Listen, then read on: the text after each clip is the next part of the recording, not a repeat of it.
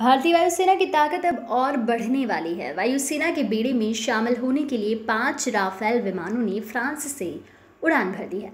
इन पाँचों fighter plane को सात भारतीय पायलट उड़ाकर अंबाला एयरबेस ला रहे हैं। बताया जा रहा है कि फ्रांस से भारत आते समय पाँचों फाइटर प्लेन को 28 जुलाई को संयुक्त अरब अमीरात के अल डफरा एयरबेस पर उतारा जाएगा। अल डफरा एयरबेस की ज़िम्मेदारी फ्रांस एयरफोर्स के पास है। यहाँ पर राफेल विमानों की चेकिंग और फ्यूल भरा जाएगा।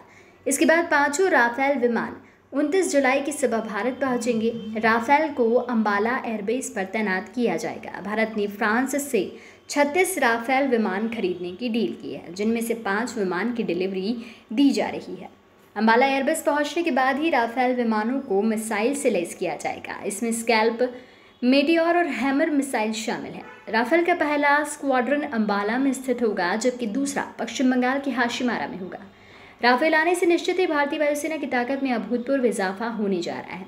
राफेल से लंबी दूरी पर आसानी से मिसाइल लॉन्च किए जा सकते हैं। एयर स्ट्राइक में ये फाइटर जेट सबसे ज़्यादा कारगर साबित होगा। भारतीय वायुसेना के पास कुल 36 राफेल आने हैं, जो अगले दो साल में मिलने की उम्मीद है। आप देख रहे हैं घमासान डॉट कॉम।